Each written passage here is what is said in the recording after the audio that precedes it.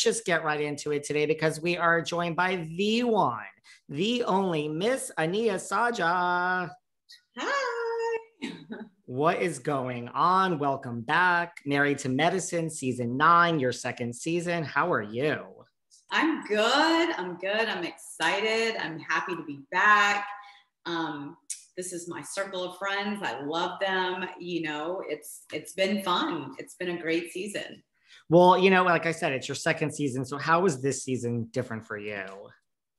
I think it's different in the manner of, you know, I I really know the ladies really well. You know, we've been hanging out, like it just, it never stops, you know. So I've gotten really close to a lot of the ladies. Heavenly and I talk almost every day. Quad and I talk. We have lunch together, like almost on a weekly basis. Just went to Cabo for her birthday. Um, you know, Toya's in the neighborhood where we, you know, we see each other randomly, you know, driving by, that kind of thing. So I'm in touch with a lot of them. So it just, just was just natural, you know, like it, I just felt more comfortable around these ladies because I'm, I'm close to them. Did you feel, you know, sometimes people come in, even though, you know, I, I know you watched the show before you were on it. Sometimes people come into their first season and they're like, wait a second, I thought I knew what I was doing, but I was not prepared for this. Like, did you come back, you know, more prepared, so to speak? I don't think it's being more prepared. I think it's just, you know, honestly, it, it goes it goes on year round you know it, it, never stops you know i've been hanging out with them i've been in touch with them so the only difference is, is that there's cameras there in front of us but other than that we it's just like my normal life you know and the the best part about it is that i am i i have a close closer relationship with them you know i gotten i've gotten to know them more so it makes it just easier, I guess, filming this season because I I know them more, you know. Well, one thing that has changed is your house is complete. Yes, yes. How nice is that to just have this renovation over and done with? Well, you know, yeah, I mean, it took like three years to build this house ground up. And, you know, when COVID comes in there, that kind of delayed things a lot too. So, and even after we moved in, we had to wait still like a few months for like appliances to come in and certain things like that. So, we're finally a lot more settled now. it's been like what, a year since we've moved in. And so, um, it's it's so nice to have all this space, especially with like two young kids that run around and you know we needed the space. And we still haven't even done our basement yet. So but just the first two floors have been amazing like just a lot of room a lot of space. So there's more to go. So this million dollar budget is actually going to be i mean you're excuse me you're a million dollars over budget. Now there's even more to come. 1.5 to 3 million. Wow. Well listen everyone needs two swings in their bedroom right I mean, I think we have a total of five swings in our home. I'm getting like house envy. You know, I'm gonna have to go out and get like a swing for my bedroom or something. but you know, for all the people that don't really understand like what I do, what you do, like Miss Influencer, five hundred thousand dollars of free furniture. Wow, I'm I'm impressed. Yeah, you know, um, I reached out to some furniture companies that I loved, and you know, that's just that's part of blogging you know you just reach out and i did like um, six months to some of them some of the contracts are to a year just blogging you know the rooms and um, showing off their furniture and yeah it's been it's been a blessing.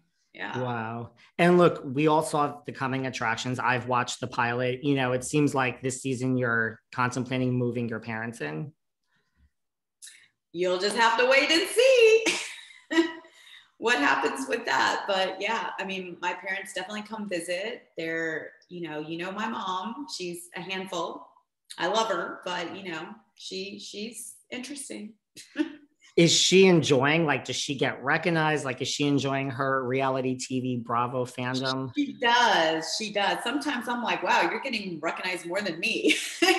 But you know i think it's just even her voice like if people hear her voice they were like oh we we know that voice but yeah, you know, she she definitely does get recognized. Um, and yeah, she's enjoying it. She, you know, she she loves it.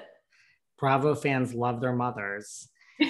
or love the Bravo mothers. Well, you know, on a more serious note, you know, I know this happens like during filming, like your house was broken into. I mean, I followed that on your Instagram. So, I mean, how are you with that? I mean, how do you kind of move past that? Yeah, I mean, it was definitely very um, traumatizing for me and my family. Um, you know, nothing, nothing like this has ever happened to us, and of course, it was heartbreaking for it to happen in our brand new home that we just moved into. So it was um, not a fun experience. I would never wish this upon my worst enemy. You know, it was really hard, but you know, you just have to get through it. You know, I think we have um, a lot of security now in our home. And so we've been able to kind of move past it. And it's been several months now, but it was definitely very, very hard initially and I know, like, do you know what's going on? Like, did they catch the people? I know you said you thought like your home was yeah, like cased. I have a PI and he's um, still under investigation. So we're still investigating all of it. Wow. Well, that's scary. I'm glad that everyone is okay did you like connect like i know like kyle richards has had this happen like dorit like did you hear from anyone like in the bravo verse or? No i haven't but i we do need to reconnect because i know that dorit went through similar situation and it's it's just it's sad and it's devastating so yeah i mean i definitely should we you know connect with her to see how she's doing because it's it sucks you know going through that Absolutely. Well, you know, also Dr. Sajja said, you know, it was okay to spend another million dollars because this is your forever home. You had a visceral reaction to that. I mean, is this your forever home? I mean, I'm like, for him to say that, like, we never know if any home is forever home. Like, am I comfortable in this home? Yes. I mean, we still have to do our basement. We still will eventually do a pool in our backyard. So we still have a lot of growing in this home. It could be our forever home. I'm very happy with it. I love it but you never know, you know. You never know. You never well, know. Toya has sold her forever home and lives not as close to you, but still close. I know you guys have had some bumps in the road, like you were open about like how are things with you and Toya today?